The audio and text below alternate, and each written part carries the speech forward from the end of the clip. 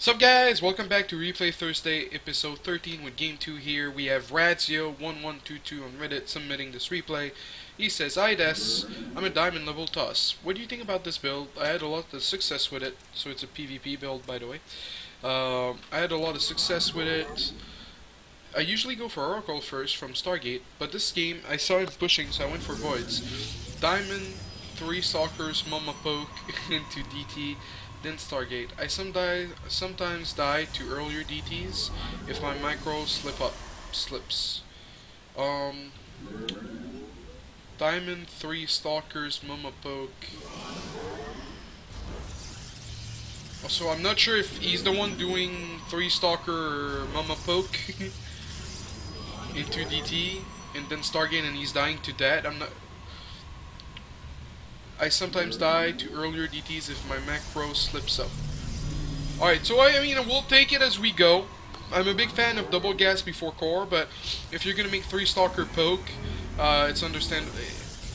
I'd rather you do double gas and have 2-2 on each gas than grab a late gas uh, like this. Alright, so you scout, you see Zealot, you see 4 Chrono on Nexus, so if you're gonna... Well, okay, so I like what you do. I actually do that versus people that do 4 Chrono Nexus. I do the 2 gate.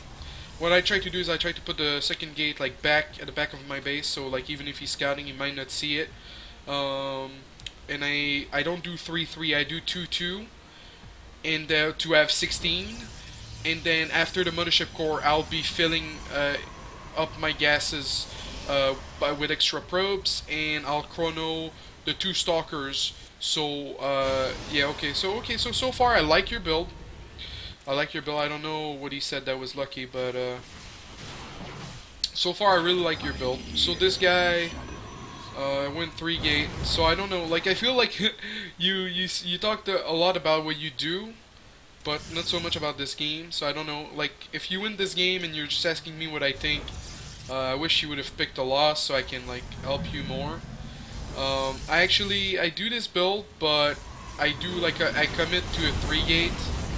Um, I mean, the, the, the micro, the micro could have been better, so like, you should have used Time Warped.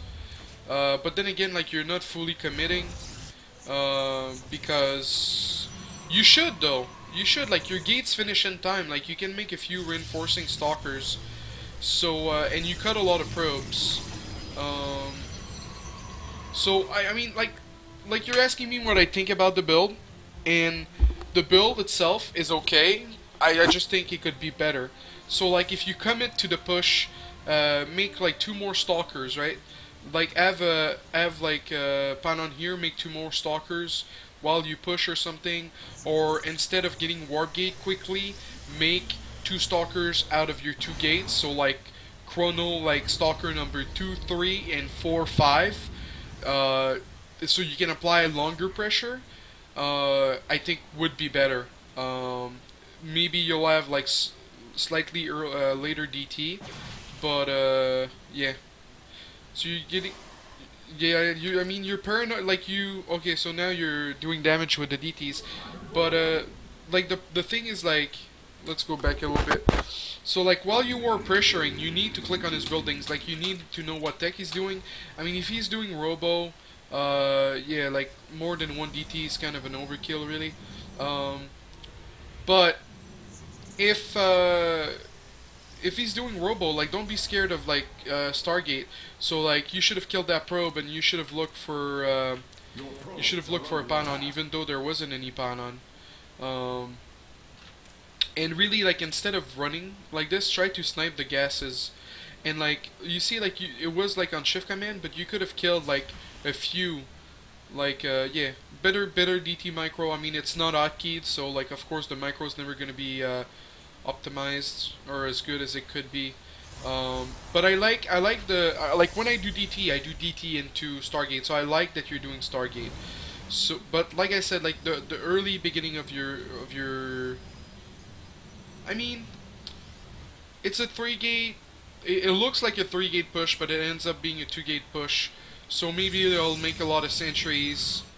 Um, so yeah, I mean, if it, if it keeps working, do it. If a if it stopped working, then try the version I was talking about, which is Chrono 4 and 5th Stalker. and uh, yeah, I might actually try your build because it sends the wrong message. Like the thing about you being diamond is like a lot of people like they're they're pretty clue uh, they're uh, they don't know they don't they don't have like the mind games don't work as much because they they don't they don't like yeah they don't think outside the box or they don't think like oh he's doing this uh, so much.